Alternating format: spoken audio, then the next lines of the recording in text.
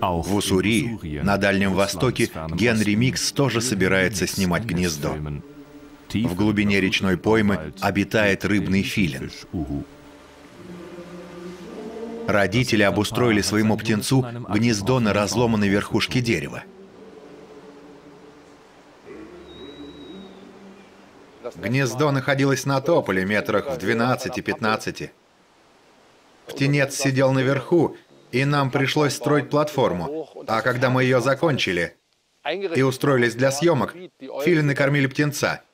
Мы были на месте, как вдруг пошел проливной дождь.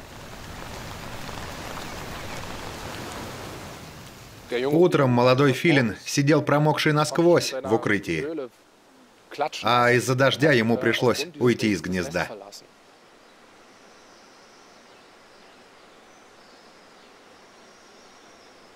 Для нас это была катастрофа, потому что он, естественно, скроется от нас и затеряется в тайге. Мы все думали, что же можно сделать, чтобы поснимать его еще немного. И нам пришла идея удерживать птенца рядом с гнездом еще пару дней, подкармливая его. Мы наловили небольших рыбешек и, накалывая их на ветку, попытались дать филину. Ну и тот сразу зашевелился, внимательно осмотрел добычу и в конце концов решил, конечно, съем с удовольствием.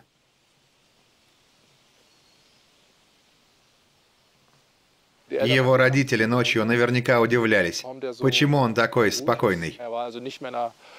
Он не хотел бродить вокруг, остался в старом гнезде еще на два дня. И за это время мы сняли желанные кадры.